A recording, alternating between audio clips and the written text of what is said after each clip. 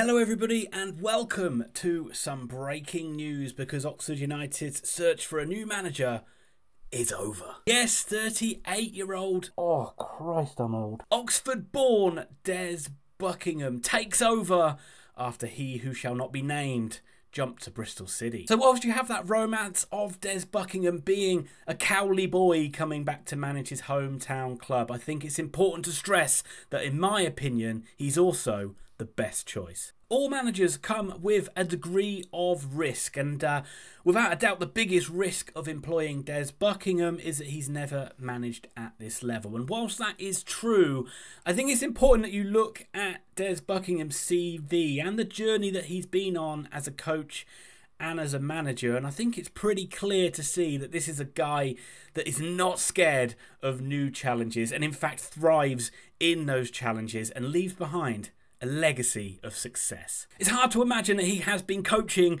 for 20 years, but it was Chris Wilder who gave him opportunities in coaching at Oxford United as a very young man, and it was Mickey Lewis as well that took him under his wing. So you've got a lot of romance with this appointment. I have something in my eye. But if you look at his career in management, not only can you see a lot of success, but you can also see how he leaves clubs in better positions than how he finds them. Wellington Phoenix, in his first role as an interim manager, they were rock bottom in the A League, and he took them to the cusp of the playoffs. New Zealand under 20s at a World Cup. They went in there just happy to be there, happy to just play three games and go home. But Des Buckingham took them to the knockout phases. They were unlucky to go out in those knockout phases, and he left New Zealand youth football with a clear identity and a style of play that meant they could compete against the best teams in the world. Back in the A League then with Melbourne City. Well, this one's a clear one, isn't it? Won the league, won the cup, did the double with them, and finally,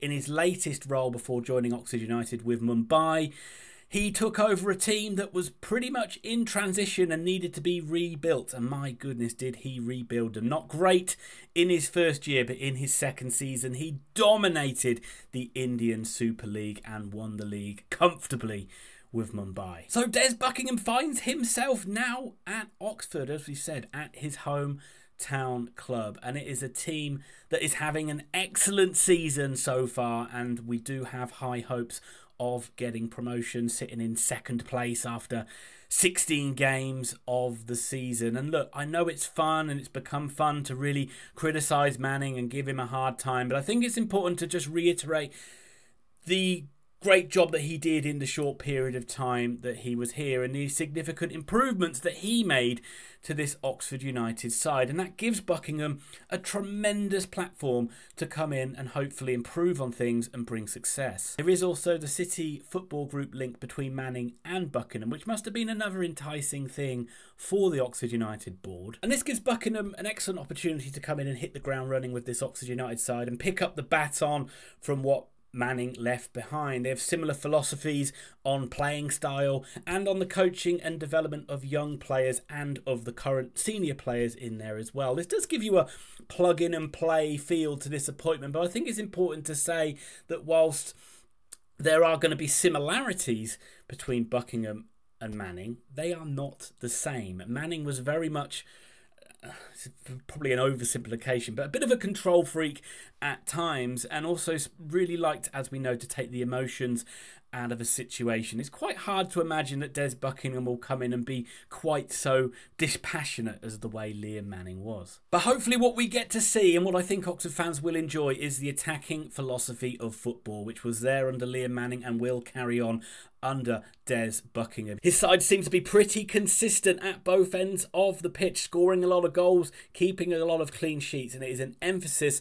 of controlling games through possession. Also, let's give the board a lot of credit for the speedy appointment of Des Buckingham. There was a lot of turmoil going around after Manning left, and we've got Des Buckingham in charge with plenty of time ahead of the first game against Cheltenham. But also, the board, when they hired Manning, were accused um, unfairly, in my opinion, of making the cheap choice. But this certainly can't be labelled at them this time around. Buckingham is a highly prized young coach, and there were rumours going around that we've had to pay we Oxford United have had to pay 800 grand of compensation to Mumbai, which is an incredible amount And if it is true, it only shows you the faith that they have in Des Buckingham and also how on board they are with getting this club promoted. But as we know, as it always says in football and all walks of life, only time will tell. Proof in the pudding is in the eating, as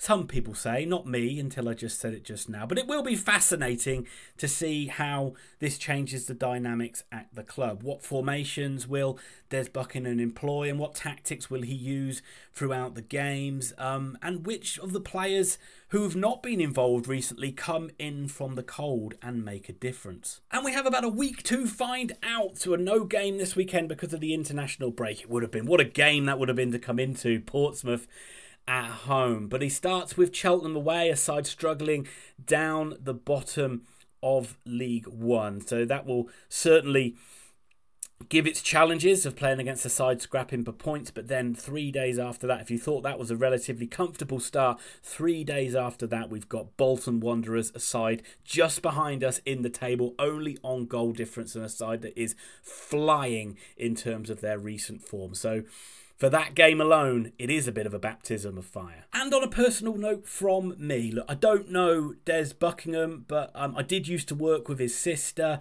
and I did used to work with one of Des Buckingham's good friends who actually went out and helped him coach when he was in New Zealand. I feel I know quite a bit about him without ever having meeting him, and um, also that does make me a little bit biased. Um, but apart from the personal ties, I have always heard very good things about him. Even going back from when he was managing Wellington, I've been aware of like how he was doing, obviously through family connections and all that. And um, the one thing that always struck me of what I've heard and people talking about him was the hard work, the dedication, and the attention to detail that he puts into his coaching and his management and his love for it. And it's brought him so much success so far, and hopefully that is going to continue. But for me, Oxford United fans, the main thing is that not only is this an exciting choice, but I think it is a logical choice. Even at a young age of 38, Des Buckingham has a ton of coaching experience. And the most important thing, as I said at the start of the video,